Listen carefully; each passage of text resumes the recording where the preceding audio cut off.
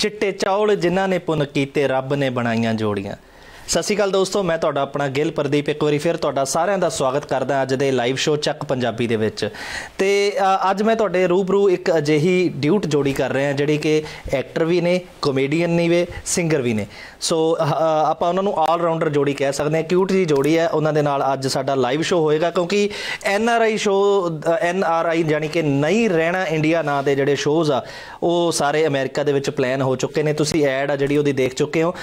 ਬਾਈ ਲਖਵੀਰ ਜੌਲ ਵੱਲੋਂ ਉਹ ਸਾਰੇ ਸ਼ੋਅਜ਼ ਆ ਜਿਹੜੇ ਸਾਰੀ ਸਿਟੀਜ਼ ਦੇ ਵਿੱਚ ਜਿਹੜੇ ਉਹ ਆਲਰੇਡੀ ਜਿਹੜੇ ਸਾਰੇ ਫਾਈਨਲ ਹੋ ਚੁੱਕੇ ਆ। ਕਿਹੜੇ ਕਿਹੜੇ ਸ਼ਹਿਰ ਦੇ ਵਿੱਚ ਕਿਹੜੀ ਕਿਹੜੀ ਤਰੀਕ ਨੂੰ ਸ਼ੋਅ ਹੋਏਗਾ ਇਹਦੇ ਬਾਰੇ ਵੀ ਗੱਲਬਾਤ ਕਰਾਂਗੇ। ਪਰ ਪਹਿਲਾਂ ਮੈਂ ਤੁਹਾਨੂੰ ਇੰਟਰੋਡਿਊਸ ਕਰਾਉਣਾ ਸਾਡੇ ਅੱਜ ਦੇ ਮਹਿਮਾਨਾਂ ਦੇ ਨਾਲ। ਸੋ ਸਾਡੇ ਨਾਲ ਨੇ ਅੱਜ ਬਾਈ ਕਰਮਜੀਤ ਅਨਮੋਲ ਔਰ ਨਿਸ਼ਾ ਬਾਨੂ ਜੀ। ਸਤਿ ਸ਼੍ਰੀ ਅਕਾਲ ਬਾਈ ਜੀ। ਸਤਿ ਸ਼੍ਰੀ ਅਕਾਲ ਜੀ। ਕੀ ਹਾਲ ਚਾਲ ਹੈ ਬਹੁਤ ਵਧੀਆ ਜੀ। ਸਭ ਤੋਂ ਪਹਿਲਾਂ ਤਾਂ ਗਲੋਬਲ ਪੰਜਾਬ ਟੀਵੀ ਦੇਖ ਰਹੇ ਸਾਰੇ ਦਰਸ਼ਕਾਂ ਨੂੰ। ਮੇਰੇ ਵੱਲੋਂ ਜਾਨੀ ਕਰਮਜੀਤ ਅਨਮੋਲ ਵੱਲੋਂ ਪਿਆਰ ਭਰੀ ਸਤਿ ਸ਼੍ਰੀ ਅਕਾਲ। ਤੇ ਮੇਰੇ ਵੱਲੋਂ ਵੀ ਜੀ ਪਿਆਰ ਭਰੀ ਸਤਿ ਸ਼੍ਰੀ ਅਕਾਲ। ਸੋ ਦਰਸ਼ਕਾਂ ਨੂੰ ਮੈਂ ਦੱਸਣਾ ਚਾਹੁੰਦਾ ਵੀ ਇਹ ਲਾਈਵ ਸ਼ੋਅ ਦੇ ਵਿੱਚ ਤੁਸੀਂ ਕਾਲ ਕਰਕੇ ਐਨ ਆਰ ਆਈ ਸ਼ੋਅ ਨਾਲ ਸੰਬੰਧਿਤ ਕੋਈ ਵੀ ਜਾਣਕਾਰੀ ਵੀ ਲੈ ਸਕਦੇ ਹੋ। ਕਰਮਜੀਤ ਅਨਮੋਲ ਜਾਂ ਨਿਸ਼ਾ ਬਾਨੋ ਜੀ ਨਾਲ ਤੁਸੀਂ ਕੋਈ ਗੱਲਬਾਤ ਸਾਂਝੀ ਕਰਨੀ ਚਾਹੋ ਇਹਨਾਂ ਦਾ ਕੋਈ ਗੀਤ ਸੁਣਨਾ ਚਾਹੋ ਤਾਂ ਤੁਸੀਂ ਕਾਲ ਕਰਨੀ ਨੰਬਰ ਤੁਹਾਡੀ ਸਕਰੀਨ ਤੇ ਹੈ 212 221 2800 ਅ, ਕਰਮਜੀਤ ਭਾਜੀ ਐਨ ਆਰ ਆਈ ਸ਼ੋਅਜ਼ ਜਿਹੜੇ ਪਲਾਨ ਕੀਤੇ ਆ ਬਾਈ ਲਖਵੀਰ ਜੌਲ ਹੋਣਾ ਨੇ। ਸਾਰੇ ਸ਼ਹਿਰਾਂ ਦੇ ਵਿੱਚ ਬੁਕਿੰਗ ਜਿਹੜੀ ਹੋ ਚੁੱਕੀ ਹੈ। ਟਿਕਟਾਂ ਜਿਹੜੀਆਂ ਬਹੁਤ ਜਲਦੀ ਨਿਕਲ ਰਹੀਆਂ ਨੇ ਕਿਉਂਕਿ ਇਸ ਤਰ੍ਹਾਂ ਦਾ ਕਨਸੈਪਟ ਹੈ ਉਹ ਇਸ ਸਾਲ ਦਾ ਪਹਿਲਾ ਕਨਸੈਪਟ ਹੈ। ਸਾਲ ਮੇਰੇ ਖਿਆਲ 2011 ਤੋਂ ਬਾਅਦ ਹੁਣ ਇਸ ਤਰ੍ਹਾਂ ਦਾ ਜਿਹੜਾ ਸ਼ੋਅ ਆਇਆ ਹਨਾ? ਉਹਦੇ ਬਾਰੇ ਗੱਲਬਾਤ ਕਰਨ ਤੋਂ ਪਹਿਲਾਂ ਇੱਕ ਛੋਟਾ ਜਿਹਾ ਸਵਾਲ ਮੈਂ ਤੁਹਾਨੂੰ ਪੁੱਛਣਾ ਚਾਹੁੰਦਾ। ਮੈਨੂੰ ਜਦੋਂ ਪਤਾ ਲੱਗਿਆ ਵੀ ਤੁਸੀਂ ਮਾਨਕ ਸਾਹਿਬ ਦੇ ਨਾਲ ਤੁਹਾਡੀ ਸਾਂਝ ਹੈ ਉਹ ਤੁਹਾਡੇ ਰਿਸ਼ਤੇਦਾਰੀ ਚੋਂ ਮਾਮਾ ਜੀ ਲੱਗਦੇ ਹਨ? ਪਰ ਅੱਜ ਤੱਕ ਬਹੁਤ ਘੱਟ ਲੋਕਾਂ ਨੂੰ ਕਿਉਂ ਪਤਾ ਵੀ ਤੁਸੀਂ ਉਹਨਾਂ ਦੇ ਭਾਣਜੇ ਹੋ? ਮੈਂ ਜੀ ਕਦੇ ਉਹਨਾਂ ਦਾ ਪ੍ਰੋਫੈਸ਼ਨਲੀ ਨਾਮ ਯੂਜ਼ ਨਹੀਂ ਕੀਤਾ। ਕਿਉਂਕਿ ਮੈਂ ਆਪਣੀ ਖੁਦ ਦੀ ਪਹਿਚਾਣ ਬਣਾਉਣੀ ਚਾਹੁੰਦਾ ਸੀਗਾ ਕਿ ਲੋਕ ਮੇਰੇ ਨਾਂ ਨਾਲ ਮੈਨੂੰ ਜਾਣਨ ਵੀ ਮਾਨਕ ਸਾਹਿਬ ਦੇ ਨਾਂ ਨਾਲ ਨਾ ਜਾਣਨ। ਪਰ ਜਦੋਂ ਕੋਈ ਮੈਨੂੰ ਪੁੱਛਦਾ ਤਾਂ ਮੈਂ ਜ਼ਰੂਰ ਇਹ ਗੱਲ ਦਾ ਮੈਨੂੰ ਮਾਣ ਹਾਸਲ ਹੈ ਕਿ ਉਹ- ਉਹਨਾਂ ਵਰਗੀ ਮਹਾਨ ਸ਼ਖਸੀਅਤ ਮਾਨਕ ਸਾਹਿਬ ਇੱਕ ਸਿੰਗਰ ਹੀ ਨਹੀਂ ਸੀ ਪੂਰੀ ਸੰਸਥਾ ਸੀ ਕਿਉਂਕਿ ਉਹਨਾਂ ਦੇ ਗਾਏ ਗੀਤ ਅਸੀਂ ਜਿਹੜੇ ਕਿੱਸੇ ਜਾਂ ਜਿਹੜੀਆਂ ਜਿਹੜੇ ਸਾਡੇ ਸਿੱਖ ਕਰੈਕਟਰਸ ਨੇ ਨੇ ਸ਼ਹੀਦ ਨੇ ਸਾਨੂੰ ਉਹਨਾਂ ਦੇ ਗੀਤਾਂ ਤੋਂ ਪਤਾ ਲੱਗਿਆ ਭਾਈ ਤਾਰੂ ਸਿੰਘ ਕੌਣ ਸੀ ਭਾਈ ਮਤੀ ਦਾਸ ਸਤੀ ਦਾਸ ਜੀ ਕੌਣ ਸੀਗੇ? ਔਰ ਬਾਬਾ ਬੰਦਾ ਬਹਾਦਰ ਜੀ ਦੀ ਵਾਰ ਹਮੇਸ਼ਾ ਉਹ ਸ਼ੁਰੂਆਤ ਦੇ ਵਿੱਚ ਪ੍ਰੋਗਰਾਮ ਦੀ ਸ਼ੁਰੂਆਤ ਜਿਹੜਾ ਮਰਜ਼ੀ ਚਾਹੇ ਜਗਰਾਤਾ ਵੀ ਕਰਨ ਜਾਂਦੇ ਸੀਗੇ ਤਾਂ ਵੀ ਉਹ ਬਾਬਾ ਬੰਦਾ ਬਹਾਦਰ ਜੀ ਦੀ ਵਾਰ ਜ਼ਰੂਰ ਗਾਉਂਦੇ ਸੀਗੇ। ਤੇ ਸਾਨੂੰ ਇਹ- ਇਸ ਗੱਲ ਦਾ ਮਾਣ ਹੈ ਕਿ ਮੈਂ ਉਹਨਾਂ ਦਾ ਭਾਂਜਾ ਜੀ ਬਟ ਮੈਂ ਉਹਨਾਂ ਨੂੰ ਕਦੇ ਪ੍ਰੋਫੈਸ਼ਨਲੀ ਕੈਸ਼ ਨਹੀਂ ਕੀਤਾ। ਯੁੱਧਵੀਰ ਦਾ ਕੀ ਹਾਲ ਹੈ ਹੁਣ? ਯੁੱਧ ਵੀ ਠੀਕ ਨੇ ਜੀ। ਬਿਲਕੁਲ ਕਦੋਂ ਕ ਅਸੀਂ ਉਦੋਂ ਐਜ਼ ਅ ਪ੍ਰੋਫੈਸ਼ਨ ਦੁਬਾਰਾ ਸਿੰਗਰ ਦੇ ਦੇਖੋ ਪ੍ਰਮਾਤਮਾ ਕਰੇ ਜਲਦੀ ਤੋਂ ਜਲਦੀ ਠੀਕ ਹੋਣ ਉਹਦੇ ਘਰ ਬੇਟਾ ਵੀ ਹੋਇਆ ਜੀ ਸਾਲ ਦਾ ਹੋਣ ਵਾਲਾ ਹੈ ਅਗਮਜੋਤ।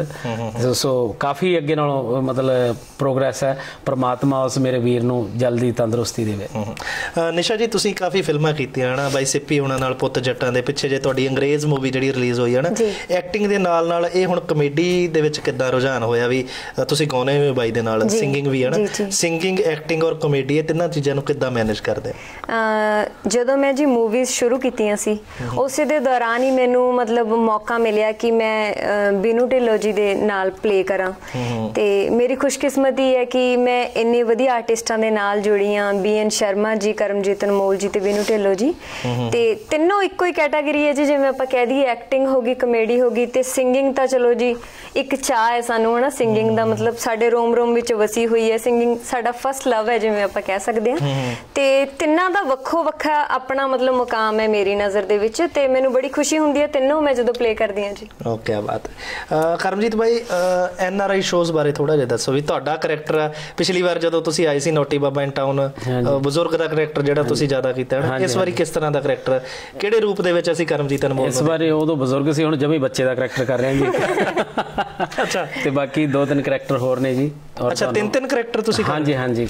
ਓਕੇ ਤੇ ਤੁਹਾਨੂੰ ਕਾਫੀ ਕੁਝ ਇਹਦੇ ਚ ਨਵਾਂ ਦੇਖਣ ਨੂੰ ਮਿਲੂਗਾ। ਜੀ ਜੀ। ਸੋ ਦਰਸ਼ਕਾਂ ਨੂੰ ਮੈਂ ਦੱਸਣਾ ਚਾਹੁੰਦਾ ਵੀ ਜਿਹੜਾ ਪੂਰੇ ਦਾ ਪੂਰਾ ਗਰੁੱਪ ਆ, ਜਿਹੜਾ ਉਹ ਅਮਰੀਕਾ ਪਹੁੰਚ ਚੁੱਕਿਆ, ਇਹਨਾਂ ਦੇ ਨਾਲ ਬਾਈ ਬੀਨੂ ਢਿੱਲੋਂ ਉਹਨਾਂ ਦੇ ਨਾਲ ਬੀਐਨ ਸ਼ਰਮਾ ਕਰਮਜੀਤ ਅਨਮੋਲ ਨਿਸ਼ਾ ਬਾਨੋ ਜੀ ਔਰ ਬਾਈ ਮੰਡ ਮੰਡ ਰਵਿੰਦਰ ਗਿਰਦਾਪੁਰੀ ਰਵਿੰਦਰ ਮੰਡ। ਔਰ ਹੋਰ ਵੀ ਕਈ ਆਰਟਿਸਟ ਜੱਗੀ ਧੂਰੀ ਰਗਵੀਰ ਬੋਲੀ ਰੀਆ ਸਿੰਘ ਬੜੀ ਲੰਮੀ ਹਾਂਜੀ। ਸੋ ਜਿਹੜੇ ਸ਼ੋਜ਼ ਆ ਉਹਨਾਂ ਬਾਰੇ ਮੈਂ ਥੋੜੀ ਜਿਹੀ ਇਨਫੋਰਮੇਸ਼ਨ ਤੁਹਾਨੂੰ ਦੇਣੀ ਚਾਹੁੰਦਾ ਵੀ 9 ਅਕਤੂਬਰ ਨੂੰ ਇੰਡੀਆਨਾਪੋਲਿਸ 10 ਅਕਤੂਬਰ ਨੂੰ ਸਿਨਸਿਨੇਟੀ ਆਹਾਇਓ 11 ਅਕਤੂਬਰ ਨੂੰ ਸ਼ਿਕਾਗੋ 17 ਅਕਤੂਬਰ ਨੂੰ ਨਿਊ ਜਰਸੀ 18 ਨੂੰ ਵਰਜੀਨੀਆ 23 ਅਕਤੂਬਰ ਨੂੰ ਫ੍ਰਿਜ਼ਨੋ, ਕੈਲੀਫੋਰਨੀਆ 24 ਅਕਤੂਬਰ ਨੂੰ ਸੈਕਰਾਮੈਂਟੋ 31 ਅਕਤੂਬਰ ਨੂੰ ਬੇ ਏਰੀਆ ਲਿਸਟ ਵਾਵਾ ਲੰਮੀ ਆ। 1 ਨਵੰਬਰ ਨੂੰ ਹਿਊਸਟਨ 6 ਨਵੰਬਰ ਨੂੰ ਡੈਟਰੋਇਡ 7 ਨਵੰਬਰ ਨੂੰ ਨਿਊਯਾਰਕ ਕੋਲਡਨ ਸੈਂਟਰ ਦੇ ਵਿੱਚ ਸ਼ੋਅ ਹੋ ਰਿਹਾ ਔਰ 8 ਨਵੰਬਰ ਨੂੰ ਬੋਸਟਨ ਦੇ ਵਿੱਚ ਸ਼ੋਅ ਹੋ ਰਿਹਾ। ਸੋ ਮੇਰੇ ਖਿਆਲ ਸਾਰੇ ਵੀਕਐਂਡ ਆ ਜਿਹੜੇ ਪੂਰੇ ਦੇ ਪੂਰੇ ਬੁੱਕ ਹੋ ਚੁੱਕੇ ਬਾਈ ਲਖਵੀਰ ਜੌਲ।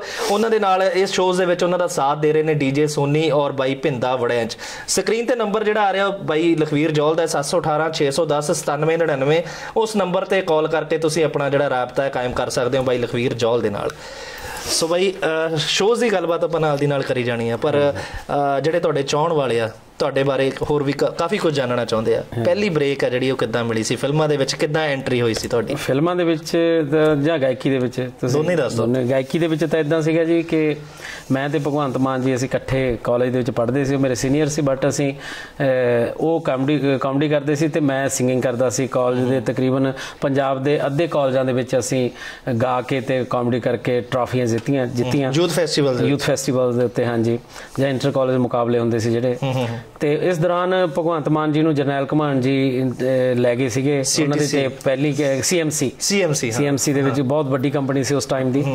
ਔਰ ਉਹਨਾਂ ਦੀ ਪਹਿਲੀ ਕੈਸਟ ਆਈ ਸੀ ਗੋਭੀ ਦੀ ਕੱਚੀ ਵਪਾਰ ਨੇ। ਉਸ ਤੋਂ ਬਾਅਦ ਕੁਲਫੀ ਗਰਮਾ ਗਰਮ।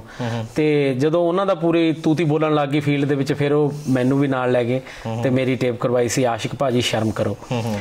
ਸੋ ਅਹ, ਕਿਹੜੇ ਸਾਲ ਦੀ ਗੱਲ ਹੈ? ਇਹ ਹੈਗੀ ਹੈ ਜੀ ਸਨ 95 ਦੀ। 95 ਮੈਂ ਪਲੱਸ 2 ਦੇ ਵਿੱਚ ਸੀਗਾ ਉਦੋਂ। ਠੀਕ ਹੈ। ਪਲੱਸ 2 ਜਾਂ ਫਸਟ ਈਅਰ ਦੇ ਵਿੱਚ। ਔਰ ਉਸ ਤੋਂ ਬਾਅਦ ਜਿਹੜੀ ਫਿਲਮਾਂ ਦੀ ਬ੍ਰੇਕ ਹੋਈ ਹੈ ਇਹ ਵੀ ਕਿਤੇ ਨਾ ਕਿਤੇ ਭਗਵੰਤ ਮਾਨ ਦੇ ਜ਼ਰੀਏ ਹੀ ਹੋਈ। ਕਿਉਂਕਿ ਭਗਵੰਤ ਮਾਨ ਜੀ ਮੈਨੂੰ ਐਕਟਿੰਗ ਦੇ ਵਿੱਚ ਲੈ ਕੇ ਆਏ। ਵੈਸੇ ਤਾਂ ਮੈਂ ਕਾਲਜ ਦੇ ਵਿੱਚ ਤਾਂ ਐਕਟਿੰਗ ਕਰਦਾ ਸੀ ਬਟ ਮੈਨੂੰ ਕਿਤੇ ਨਾ ਕਿਤੇ ਇਹ ਸੀਗਾ ਕਿ ਕਿ ਮੈਂ ਸਿੰਗਰ ਹਾਂ ਵੀ ਮੈਂ ਕਾਮੇਡੀ ਕਿਉਂ ਕਰਾਂ ਜਾਂ ਐਕਟਿੰਗ ਕਿਉਂ ਕਰਾਂ। ਤੇ ਭਗਵੰਤ ਮਾਨ ਜੀ ਨੇ ਕਿਹਾ ਮੇਰਾ ਵੀ ਉਹਨਾਂ ਦਾ ਇੱਕ ਸੀਰੀਅਲ ਚੱਲਦਾ ਸੀ ਜੁਗ ਨੂੰ ਕਹਿੰਦਾ ਹੈ। ਕਹਿੰਦੇ ਵੀ ਤੂੰ ਇਹ ਕਿਹੜਾ ਕੋਈ ਹੋਰ ਮੈਂ ਤੈਨੂੰ ਕਹਿ ਰਿਹਾ ਵੀ ਤੂੰ ਖੇਤੀ ਕਰਨ ਲੱਗ ਜਾ ਵੀ ਇਹਦਾ ਇੱਕ ਪਾਰਟ ਹੈ ਵੀ ਹੈ ਨਾ। ਤੇ ਮੈਂ ਉਹਦੇ ਚ ਪਾਰਟਿਸਿਪੇਟ ਕੀਤਾ ਔਰ ਮੈਨੂੰ ਮੇਰੀ ਪਰਫਾਰਮੈਂਸ ਇੰਨੀ ਵਧੀਆ ਰਹੀ ਮੈਨੂੰ ਚੈਨਲ ਵਾਲਿਆਂ ਨੇ ਕੈਰੀ ਔਨ ਕੀਤਾ ਤੇ ਲੋਕਾਂ ਦਾ ਵੀ ਵਧੀਆ ਪਿਆਰ ਮਿਲਿਆ ਤੇ ਉਸ ਦੌਰਾਨ ਹੋਰ ਸੀਰੀਅਲ ਮਿਲੇ ਤੇ ਨਾਲ ਹੀ ਫਿਰ ਫਿਲਮਾਂ ਦੀ ਆਫਰ ਆਈ। ਸੋ ਤੁਹਾਡੇ ਤੁਹਾਡੀ ਜਿਹੜੀ ਫੀਲਡ ਦੀ ਸ਼ੁਰੂਆਤ ਹੈ ਜਿਹੜੀ ਬਾਈ ਭਗਵੰਤ ਮਾਨ ਹੋਣਾ ਬਿਲਕੁਲ ਜੀ। ਨਿਸ਼ਾ ਜੀ ਤੁਹਾਡੀ ਸ਼ੁਰੂਆਤ ਕਿੱਦਾਂ ਹੋਈ? ਤੁਸੀਂ ਗਾਇਕੀ ਦੀ ਜਿਹੜੀ ਸ਼ੁਰੂਆਤ ਮੇਰੇ ਖਿਆਲ ਬਾਈ ਹੁਣਾਂ ਦੇ ਨਾਲ ਕੀਤੀ ਹੈ। ਤੇ ਫਿਲਮਾਂ ਤੁਸੀਂ ਪਹਿਲਾਂ ਕਰਦੇ ਸੀ ਕਿ ਇਹਨਾਂ ਦੇ ਨਾਲ ਹੀ ਸ਼ੁਰੂ ਕੀਤਾ ਜਾਂਦਾ? ਨਹੀਂ ਜੀ ਵੈਸੇ ਬੇਸਿਕਲੀ ਮੈਂ ਮਾਨਸਾ ਤੋਂ ਬਿਲੋਂਗ ਕਰਦੀ ਹਾਂ। ਮੈਂ ਚੰਡੀਗੜ੍ਹ ਮੂਵ ਕੀਤੀ ਤਾਂ ਮੇਰੀ ਮੁਲਾਕਾਤ ਜੀ ਕਰਮਜੀਤ ਅਨਮੋਲ ਜੀ ਦੇ ਨਾਲ ਹੋਈ ਤੇ ਅਸੀਂ ਸਿੰਗਿੰਗ ਪਹਿਲਾਂ ਸ਼ੁਰੂ ਕੀਤੀ ਸੀ ਤੇ ਉਸੇ ਦੇ ਦੌਰਾਨ ਜੀ ਮੈਂ ਜੱਟ ਐਂਡ ਜੂਲੀਅਟ ਵਨ ਦੇ ਵਿੱਚ ਛੋਟਾ ਜਿਹਾ ਕੈਮਿਓ ਕੀਤਾ ਸੀ। ਉੱਥੋਂ ਜੀ ਮੂਵੀਜ਼ ਦੀ ਮੇਰੀ ਜਿਹੜੀ ਹੈ ਸਫ਼ਰ ਜਿੱਦਾਂ ਕਹਿ ਸਕਦੇ ਹਾਂ ਸ਼ੁਰੂ ਹੋ ਗਿਆ ਤੇ ਹਲੇ ਤੱਕ ਬਰਕਰਾਰ ਹੈ। ਜੀ ਜੀ। ਕੋਈ ਡਿਊਟ ਹੋ ਜਾਏ ਕਿਉਂਕਿ ਦੁਗਾਣਾ ਜੋੜੀ ਬੈਠੀ ਹੈ ਤੇ ਜੇ ਦੁਗਾਣਾ ਨਾ ਹੋਇਆ ਤਾਂ ਮੈਨੂੰ ਸਭ ਨੇ ਫੋਨ ਕਰਨਾ ਵੀ ਦੁਗਾਣਾ ਕਿਉਂ ਨਹੀਂ ਸੁਣਿਆ ਕੋਈ? ਜਿਹੜਾ ਵੀ ਤੁਹਾਨੂੰ ਵਧੀਆ ਲੱਗਦਾ ਜਦੋਂ ਤੁਸੀਂ ਸਟੇਜ ਤੇ ਪ੍ਰੋਗਰਾਮ ਲਾਉਂਦੇ ਆ ਜਿਹਦੀ ਸਭ ਤੋਂ ਜ਼ਿਆਦਾ ਬਾਰ-ਬਾਰ ਡਿਮਾਂਡ ਆਉਂਦੀ ਆ। ਸਾਡਾ ਇੱਕ ਬੜਾ ਵਧੀਆ ਗੀਤ ਹੈ ਜੀ ਖੁੱਲੀ ਬਾਡੀ ਦੀ ਜੀਪ ਤੇ ਜੱਟ ਨੂੰ ਸ਼ੌਕ ਦੇ ਨਾਲ ਹੀ ਦਾ। ਹਾਂਜੀ ਉਹ ਤੁਹਾਨੂੰ। ਜੀ। ਕਿਹੜੇ ਸ਼ੌਂਕ ਗੱਭਰੂਆ ਤੈਨੂੰ। ਅੱਜ ਤੂੰ ਸਾਰੇ ਦੱਸ ਦੇ ਮੈਨੂੰ। ਕਿਹੜੇ ਸ਼ੌਂਕ ਗੱਭਰੂਆ ਤੈਨੂੰ? ਅੱਜ ਤੂੰ ਸਾਰੇ ਦੱਸ ਦੇ ਮੈਨੂੰ। ਓ ਨੀ ਪੱਗ ਟੌਰੇ ਵਾਲੀ ਬਨ ਕੇ, ਨੀ ਪੱਗ ਟੌਰੇ ਵਾਲੀ ਬਨ ਕੇ, ਕੁੜਤਾ ਚਾਦਰਾ ਪਾਲੀ ਦਾ ਖੁੱਲੀ ਬਾਡੀ ਦੀ ਜੀਪ ਤੇ ਜੱਟ ਨੂੰ ਸ਼ੌਕ ਦੁਨਾਲੀ ਦਾ। ਖੁੱਲੀ ਬਾਡੀ ਦੀ ਜੀਪ ਤੇ ਜੱਟ ਨੂੰ ਸ਼ੌਕ ਦੁਨਾਲੀ ਦਾ। ਤੂੰ ਵੀ ਦੱਸ ਦੇ ਪਤਲੀਏ ਨਾਰੇ ਤੇਰੇ ਕੀ ਨੇ ਸ਼ੌਕ ਮੁਟਿਆਰੇ? ਤੇਰੇ ਕੀ ਨੇ ਸ਼ੌਕ ਮੁਟਿਆਰੇ? ਤੂੰ ਵੀ ਦੱਸ ਦੇ ਪਤਲੀਏ ਨਾਰੇ। ਗੋਰੇ ਰੰਗ ਤੇ ਲਹਿੰਗਾ ਜੱਚਦਾ ਪਾਇਆ ਮੈਂ ਮਰ ਜਾਣੀ ਨੂੰ। ਸ਼ੌਂਕ ਨਚਣ ਦਾ ਸ਼ੌਂਕ ਨਚਣ ਦਾ ਮੈਨੂੰ ਵੇ ਗਿੱਧਿਆਂ ਦੀ ਰਾਣੀ ਨੂੰ। ਸ਼ੌਂਕ ਨਚਣ ਦਾ ਮੈਨੂੰ ਵੇ ਗਿੱਧਿਆਂ ਦੀ ਰਾਣੀ ਨੂੰ। ਕੀ ਬਾਤ ਹੈ ਜੀ ਇੱਕ ਦੋ ਆਪਾਂ ਕਾਲਾਂ ਲੈ ਲਈਏ ਫਿਰ ਅੱਗੇ ਚੱਲਦੇ ਹਾਂ। ਜੀ। ਹੈਲੋ। ਹੈਗਾ ਪੁੱਤ ਜਾ ਹੈਲੋ ਸਤਿ ਸ਼੍ਰੀ ਅਕਾਲ ਜੀ। ਸਤਿ ਸ਼੍ਰੀ ਅਕਾਲ ਜੀ ਪ੍ਰਦੀਪ ਜੀ। ਹਾਂਜੀ ਹਾਂਜੀ ਕੌਣ ਗੱਲ ਕਰ ਰਹੇ ਹੋ? ਕਿੱਥੋਂ ਬੋਲ ਰਹੇ ਹੋ? ਕਿੰਗਰਾ ਬੋਲਦਾ ਜੀ ਵਰਜੀਨੀਆ ਤੋਂ। ਹਾਂਜੀ ਹਾਂਜੀ ਕਿੰਗਰਾ ਸਾਹਿਬ ਠੀਕ ਠਾਕ ਹੋ? ਬਾ ਵਧੀਆ ਵਧੀਆ ਜੀ ਵਧੀਆ। ਤੇ ਆਪਣੇ ਨਾਲ ਅੱਜ ਬਾਈ ਕਰਮਜੀਤ ਅਨਮੋਲ ਔਰ ਨਿਸ਼ਾ ਬਾਨੋ ਜੀ ਆਏ ਹੋਏ ਨੇ। ਕੀ ਕੋਈ ਗਾਣਾ ਸੁਣਨਾ ਚਾਹੁੰਦੇ ਆ ਜਾਂ ਕੋਈ ਹੋਰ ਗੱਲਬਾਤ ਇਹਨਾਂ ਨਾਲ ਕਰਨੀ ਚਾਹੁੰਦੇ ਹੋ? ਹਾਂਜੀ ਸਭ ਤੋਂ ਪਹਿਲਾਂ ਤਾਂ ਮੈਂ ਨੀਸ਼ਾ ਬਾਨੋ ਜੀ ਨੂੰ ਤੇ ਕਰਮਜੀਤ ਅਨਮੋਲ ਜੀ ਨੂੰ ਸਤਿ ਸ਼੍ਰੀ ਅਕਾਲ ਐਂਡ ਵੈਲਕਮ ਸਤਿ ਸ਼੍ਰੀ ਅਕਾਲ ਜੀ ਥੈਂਕ ਯੂ ਜੀ ਤੇ ਔਰ ਦੂਸਰਾ ਮੈਂ ਇਹਨਾਂ ਨੂੰ ਕਹਿਣਾ ਚਾਹੁੰਦਾ ਕਿ ਮੈਂ ਪਿਛਲੀ ਵਾਰ ਇਹਨਾਂ ਦਾ ਸਪੈਸ਼ਲ ਤੋਂ ਮੈਂ ਅਮਰੀਕਾ ਤੋਂ ਕੈਨੇਡਾ ਸ਼ੋਅ ਦੇਖਣ ਗਿਆ ਸੀਗਾ। ਔਰ ਬੜਾ ਸਕਸੈਸਫੁਲ ਸੀ ਹਾਊਸਫੁਲ ਸੀਗਾ। ਤੇ ਮੈਨੂੰ ਉਮੀਦ ਆ ਕਿ ਇੱਥੇ ਵਰਜੀਨੀਆ ਚ 18 ਅਕਤੂਬਰ ਨੂੰ ਇਹਨਾਂ ਦਾ ਸ਼ੋਅ ਸਾਡੇ ਹੋ ਰਿਹਾ। ਤੇ ਉਹ ਵੀ ਉਦਾਂ ਹੀ ਸਕਸੈਸਫੁਲ ਹੋਊਗਾ। ਲੋਕੀ ਬੜੀਆਂ ਕਾਲਾਂ ਕਰਦੇ ਆ ਬੜਾ ਇੰਤਜ਼ਾਰ ਕਰ ਰਹੇ ਆ ਇਹਨਾਂ ਦਾ ਬੇਸਬਰੀ ਦੇ ਨਾਲ। ਤੇ ਮੈਨੂੰ ਮੈਨੂੰ ਪੂਰੀ ਉਮੀਦ ਆ ਕਿ ਆਸਟ੍ਰੇਲੀਆ ਨਿਊਜ਼ੀਲੈਂਡ ਕੈਨੇਡਾ ਵਾਂਗੂ ਵਧੀਆ ਹੋਊਗਾ ਇੱਥੇ ਵੀ। ਸੋ ਬਹੁਤ ਬਹੁਤ ਧੰਨਵਾਦ ਭਾਜੀ ਕਾਲ। ਲੋਕਾਂ ਨੂੰ ਬੜੀ ਉਮੀਦ ਹੈ ਇਸ ਸ਼ੋਅਸ ਦੇ ਵਿੱਚ ਕਿਉਂਕਿ ਕਾਫੀ ਲੰਮੇ ਸਮੇਂ ਤੋਂ ਜੋਲ ਭਾਜੀ ਨੇ ਸਾਰੇ ਚੈਨਲ ਤੇ ਐਡਾਂ ਵੀ ਚਲਾਈਆਂ ਹੋਈਆਂ ਤੇ ਲੋਕੀ। ਉਡੀਕ ਕਰ ਰਹੇ ਆ ਨਹੀਂ। ਪਹਿਲੀ ਵਾਰ ਦੇਖਿਆ ਜੀ ਇੰਨਾ ਪ੍ਰੋਫੈਸ਼ਨਲ ਤਰੀਕੇ ਦੇ ਨਾਲ ਕੋਈ ਮਤਲਬ ਇਹ ਪ੍ਰੋਗਰਾਮ ਉਹ ਲਿਖ ਕੇ ਗਏ ਨੇ ਜੌਲ ਸਾਹਿਬ ਦਾ ਧੰਨਵਾਦ ਜੀ ਬਹੁਤ ਬਹੁਤ ਬਿਲਕੁਲ ਜੀ।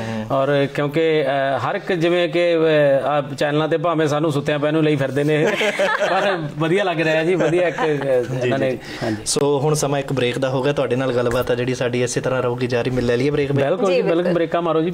ਸੋ ਦਰਸ਼ਕੋ ਪ੍ਰੋਗਰਾਮ ਚੱਕ ਪੰਜਾਬੀ ਇਸੇ ਰਫਤਾਰ ਇਸੇ ਬਹਾ ਦੇ ਨਾਲ ਰਹੇਗਾ ਜਾਰੀ। ਔਰ ਜਿਹੜੀ ਸ਼ੋਜ਼ ਦੀ ਇਨਫੋਰਮੇਸ਼ਨ ਆ ਤੁਸੀਂ ਲੈ ਸਕਦੇ ਹੋ ਸਕਰੀਨ ਤੇ ਨੰਬਰ ਬਾਰ-ਬਾਰ ਜਿਹੜਾ ਫਲੈਸ਼ ਹੋ ਰਿਹਾ। ਬਾਈ ਲਖਵੀਰ ਜੌਲ ਦਾ ਰਾਜਵੀਰ ਐਂਟਰਟੇਨਮੈਂਟ ਵੱਲੋਂ ਸਾਰੇ ਸ਼ੋਜ਼ ਆ ਜਿਹੜੇ ਉਹ ਪਲਾਨ ਕੀਤੇ ਗਏ ਨੇ।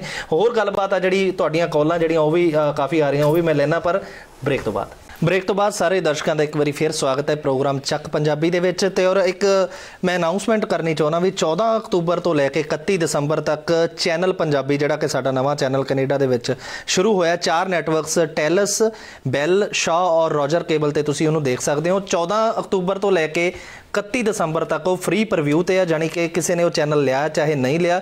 ਕੈਨੇਡਾ ਦੇ ਵਿੱਚ ਜਿਨ੍ਹਾਂ ਜਿਨ੍ਹਾਂ ਕੋਲੇ ਚਾਰ ਨੈਟਵਰਕਸ ਆ ਉਹ ਆਪਣਾ ਇਸ ਚੈਨਲ ਜਿਹੜਾ ਸਾਡਾ ਨਵਾਂ ਸ਼ੁਰੂ ਹੋ ਰਿਹਾ ਹੈ ਉਹਦੇ ਵਿੱਚ ਤੁਸੀਂ ਆਪਣਾ ਆਨੰਦ ਲੈ ਸਕਦੇ ਹੋ। ਚੈਨਲ ਜਿਹੜਾ ਸ਼ੁਰੂ ਹੋ ਚੁੱਕਿਆ ਬਟ ਫ੍ਰੀ ਪ੍ਰੀਵਿਊ ਹੈ ਜਿਹੜਾ ਉਹ 14 ਅਕਤੂਬਰ ਤੋਂ 31 ਅ, ਦਸੰਬਰ ਯਾਨੀ ਕਿ 2.5 ਮਹੀਨੇ ਫ੍ਰੀ ਪ੍ਰੀਵਿਊ ਤੇ ਤੁਸੀਂ ਦੇਖ ਸਕਦੇ ਹੋ। ਸੋ ਸਾਡੀ ਗੱਲਬਾਤ ਅੱਜ ਚੱਲ ਰਹੀ ਹੈ ਬਾਈ ਕਰਮਜੀਤ ਅਨਮੋਲ ਔਰ ਨਿਸ਼ਾ ਬਾਨੋ ਜੀ ਦੇ ਨਾਲ। ਬ੍ਰੇਕ ਤੋਂ ਬਾਅਦ ਤੁਹਾਡਾ ਫਿਰ ਇੱਕ ਵਾਰੀ ਸਵਾਗਤ ਹੈ। ਥੈਂਕ ਯੂ ਜੀ।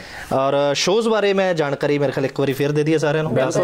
ਜ਼ਰੂਰੀ ਹੈ। ਹਾਂਜੀ। ਸੋ 9 ਅਕਤੂਬਰ ਨੂੰ ਇੰਡੀਆਨਾ ਦੇ ਵਿੱਚ ਇੰਡੀਆਨਾ ਪੋਲਿਸ ਸ਼ੋ ਹੋ ਰਿਹਾ। 10 ਅਕਤੂਬਰ ਨੂੰ ਸਿਨਸਿਨੇਟੀ ਹਾਇਓ 11 ਅਕਤੂਬਰ ਨੂੰ ਸ਼ਿਕਾਗੋ 17 ਨੂੰ ਨਿਊ ਜਰਸੀ 18 ਨੂੰ ਵਰਜੀਨੀਆ 23 ਅਕਤੂਬਰ ਨੂੰ ਫ੍ਰਿਜ਼ਨੋ 24 ਨੂੰ ਸੈਕਰਾਮੈਂਟੋ 31 ਨੂੰ ਬੇ ਏਰੀਆ 1 ਨਵੰਬਰ ਨੂੰ ਹਿਊਸਟਨ ਟੈਕਸਸ 6 ਨਵੰਬਰ ਨੂੰ ਡੈਟਰੋਇਡ ਔਰ 7 ਨਵੰਬਰ ਨੂੰ ਨਿਊਯਾਰਕ 8 ਨਵੰਬਰ ਨੂੰ ਬੋਸਟਨ ਔਰ ਨਿਊਯਾਰਕ ਦੇ ਵਿੱਚ ਜਿਹੜਾ ਸ਼ੋਅ ਹੋ ਰਿਹਾ ਹੈ, ਉਹ ਕੋਲਡਨ ਸੈਂਟਰ ਦੇ ਵਿੱਚ ਬਾਈ ਲਖਵੀਰ ਜੌਲ, ਰਾਜਵੀਰ ਐਂਟਰਟੇਨਮੈਂਟ ਔਰ ਉਹਨਾਂ ਦੇ ਨਾਲ ਬਾਈ ਹੈਰੀ ਪਵਾਰ, ਉਹ ਸ- ਰਲ ਕੇ ਉਹ ਸ਼ੋਅ ਜਿਹੜਾ ਕਰਵਾ ਰਹੇ ਨੇ। ਕੋਲਡਨ ਸੈਂਟਰ ਬਹੁਤ ਵਧੀਆ ਹਾਲ ਹੈ। ਸਾਰਿਆਂ ਨੂੰ ਪਤਾ ਫਲਸ਼ਿੰਗ ਦੇ ਵਿੱਚ ਕੁਈਨਜ਼ ਕਾਲਜ ਦੇ ਵਿੱਚ ਉਹ ਜਿਹੜਾ ਹਾਲ ਹੈ।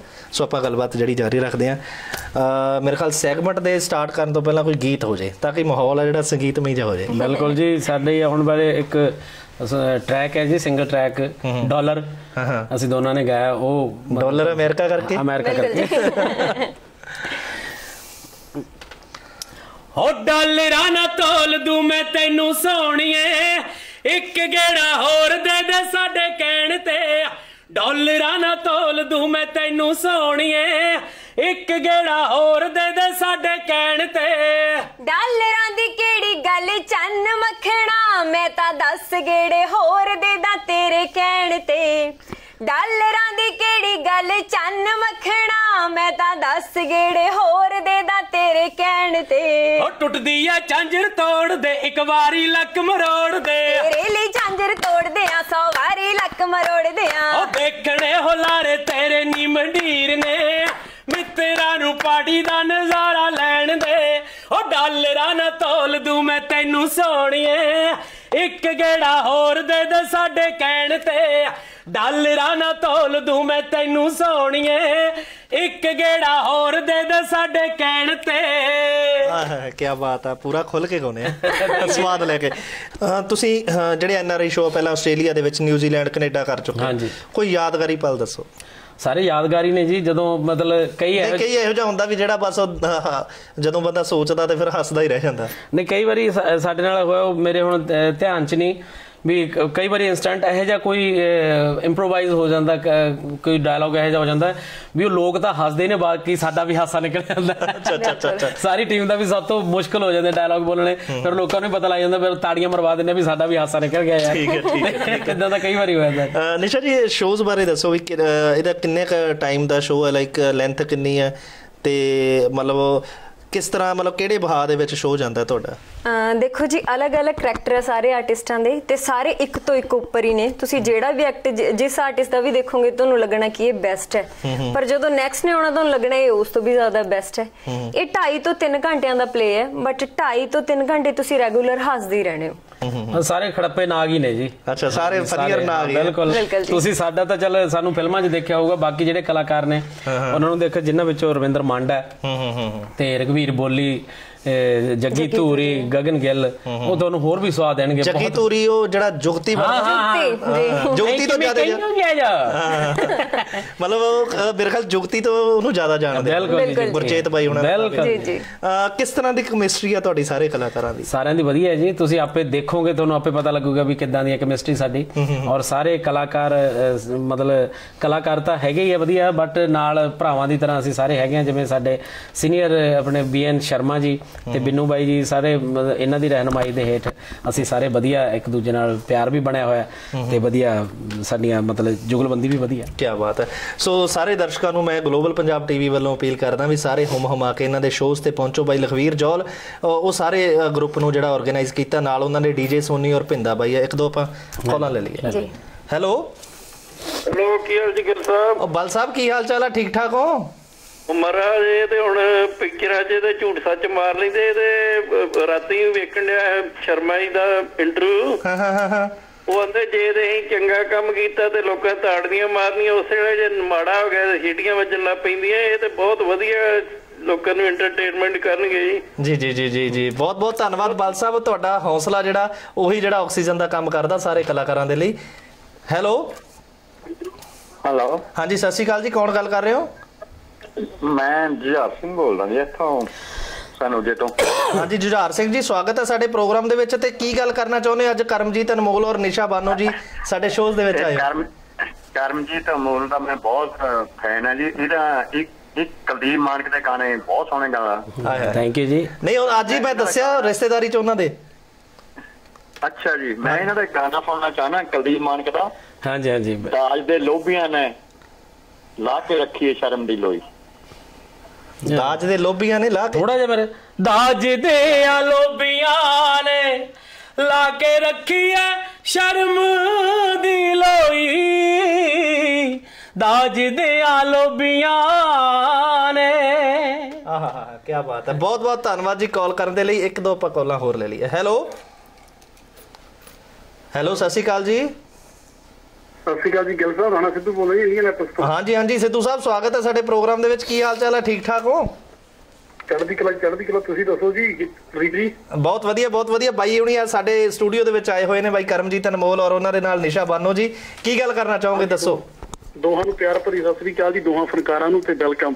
ਸਤਿ ਸ਼੍ਰੀ ਅਕਾਲ ਜੀ ਥੈਂਕ ਯੂ ਜੀ ਹਾਂਜੀ ਮੇਰਾ ਖਿਆਲ ਤੁਸੀਂ ਇੰਟਰਵਿਊ ਤੋਂ ਬਾਅਦ ਰਵਾਨਾ ਹੋਣਾ ਤੁਸੀਂ ਇੰਡੀਅਨ ਐਪਲਸ ਨੂੰ। ਬਿਲਕੁਲ ਜੀ। ਤੇ ਹਾਂਜੀ ਹਾਂਜੀ ਤੁਹਾਡੀ ਵੇਟ ਕਰ ਰਹੇ ਆ ਆਜੋ ਵੈਲਕਮ ਤੇ ਬਾਕੀ ਪ੍ਰਦੀਪ ਜੀ ਨੂੰ ਦੱਸ ਨੂੰ ਮਿਲਾਂਗੇ। ਸ਼ਾਇਦ ਮੇਰਾ ਖਿਆਲ ਤੁਹਾਡੀ ਗੈਰ ਹਾਜ਼ਰੀ ਰਹੇਗੀ ਪ੍ਰਦੀਪ ਦੱਸ ਨੂੰ ਜੀ ਜੀ ਜੀ ਮੈਨੂੰ ਪਤਾ ਤੁਹਾਡੇ ਇੰਡੀਆਨਾ ਦੇ ਵਿੱਚ ਨਗਰ ਕੀਰਤਨ ਹੈ ਉਸ ਦਿਨ। ਹਾਂਜੀ ਜੀ ਦੇਵ ਜੀ ਉਹਨਾਂ ਨੂੰ ਮੈਂ ਕਰੂੰਗਾ ਤੁਹਾਡੀ ਇਹਨਾਂ ਤੇ ਹੈਲਪ ਨੂੰ ਜੀ ਜੀ ਜੀ ਜੀ ਜੀ ਹਾਂਜੀ ਤੇ ਬਹੁਤ ਬੇਸਬਰੀ ਨਾਲ ਵੇਟ ਹੋ ਰਹੀ ਹੈ ਜੀ ਇਹਨਾਂ ਦੀ। ਤੇ ਬਹੁਤ ਮੈਂ ਸਾਰਿਆਂ ਨੂੰ ਕਹੂੰਗਾ ਕਿ ਆਓ ਦੇਖਣ ਕਿਉਂਕਿ ਰਜੀਵਿਆਂ ਦੇ ਵਿੱਚ ਆਪਾਂ ਰਹਿੰਦੇ ਆ ਹੂੰ ਹੂੰ। ਤੇ 3 ਘੰਟੇ ਹੱਸੀਏ।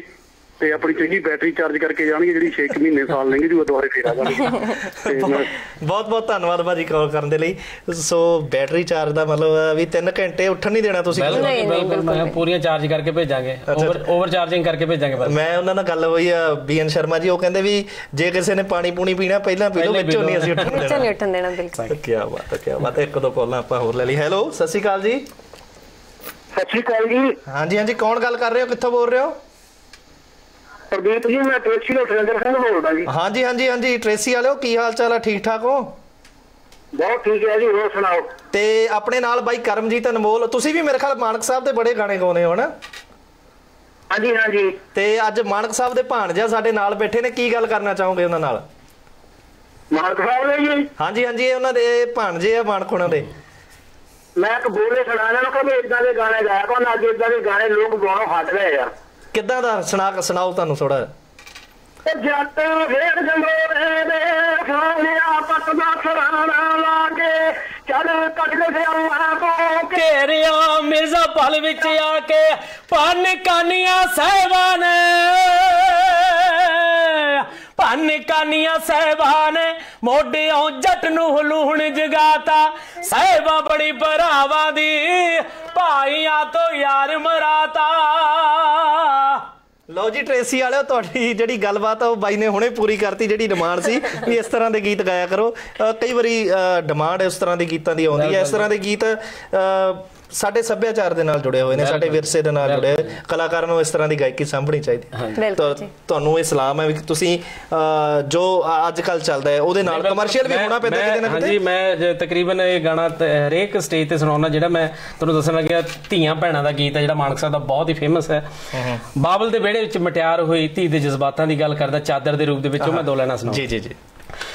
ਬੂਰ ਪਿਆ ਅੰਬੀਆਂ ਨੂੰ ਮਾਏ ਵਿੱਚ ਖੇਤੀ ਕਣਕਾਂ ਪੱਕੀਆਂ, ਅੱਗ ਦੇ ਪਾਂਬੜ ਵਰਗੀਆਂ ਧੀਆਂ, ਨੀ ਤੂੰ ਸਾਂਭ ਬੁਕਲ ਵਿੱਚ ਰੱਖੀਆਂ।